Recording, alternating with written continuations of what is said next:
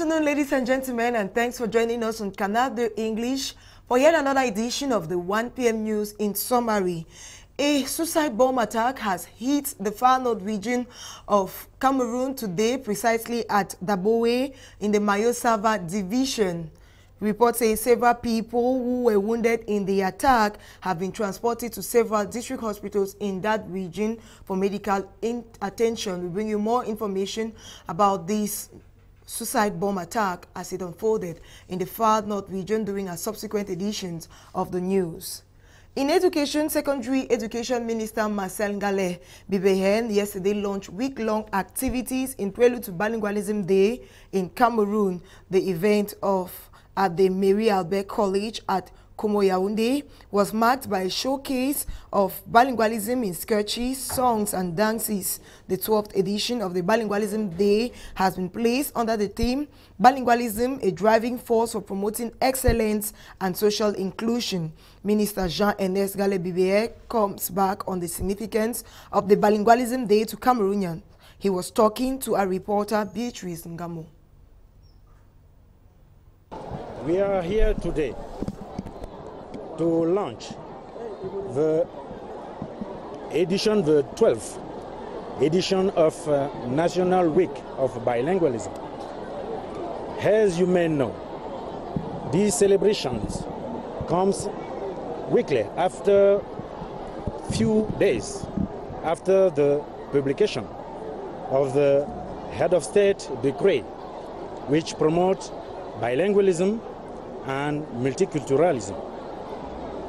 By taking this important decree, the head of state wants all Cameroonians to, mobilize, to be mobilized around the uh, bilingualism.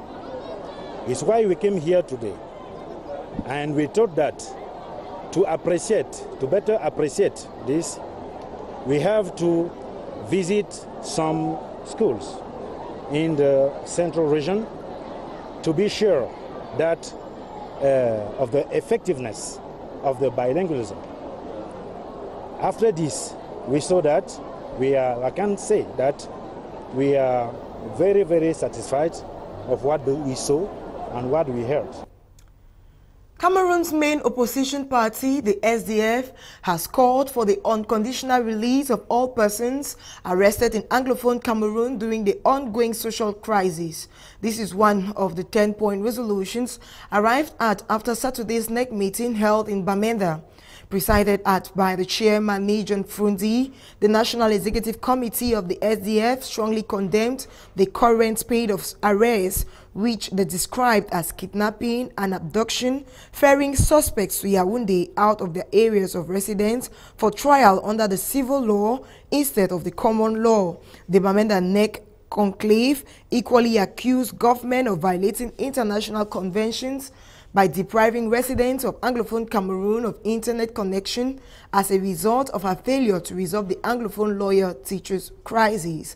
Members of the NEC also empowered their chairman to engage in discussions with religious, political, as well as opinion leaders in a bid to get the country out of the present crisis. Last weekend's meeting was the first after the appointment of Senator Tsomelou Jean as the new Secretary General. In sports, a press conference by the Indomitable Lions of Cameroon is expected to take place today in Moanda, Gabon before they continue training ahead of their semi-final game on Thursday against Ghana. Amongst other questions, they shall be answering the boys of coach Hugo Broos shall also be answering questions uh, expected to clarify doubts following rumors that they boycotted the training session yesterday over issues of unpaid match bonuses.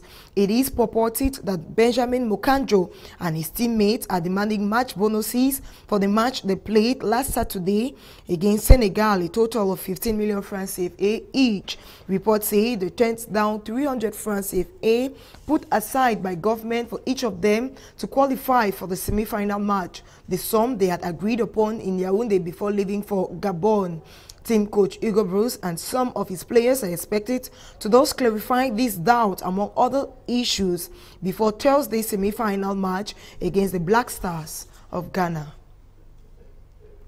In news out of Cameroon, Morocco has been readmitted as a member of the African Union after months of intense lobbying. Morocco left the organization in 1984 after it recognized the independence of Western Sahara, regarded as Morocco as part of its historical territory. It was the only country in Africa that was not a member of the continental body. AU leaders also voted the chairman for Chadian Foreign Minister Faki Mohamed to be the next head of the AU Commission. Mr. Faki Mohamed beats Kenya's top diplomat Amina Mohamed. The race is usually settled behind the scene before the vote, but this week they went up to seven rounds of voting. Outgoing Commissioner South Africa's Nkosazana Dlamini Zuma stayed at the job for an extra six months after leaders failed to agree on a candidate to replace her last July.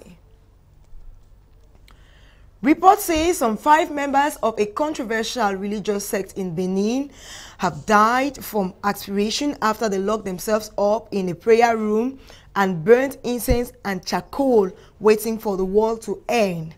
The sect, whose name in French translates as the Very Holy Church of Jesus Christ of Baname, has thousands of followers across the West African state and is strongly opposed to the local voodoo culture.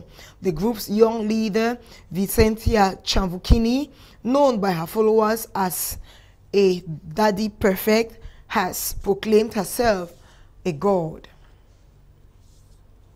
Elsewhere, Donald Trump has fired the acting attorney general after she questioned the legit legitimacy of his immigration ban. Sally Yates, who had been appointed under Barack Obama, earlier ordered Justice Department lawyers not to enforce the president's executive order.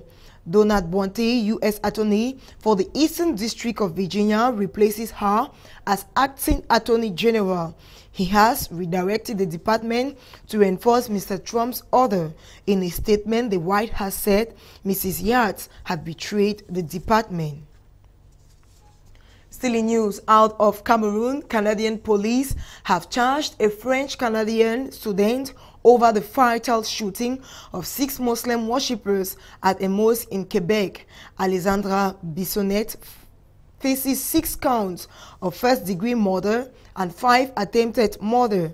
The 27-year-old briefly appeared in Quebec City Court over Sunday evening's attack during evening prayer at the Quebec Islamic Cultural Center.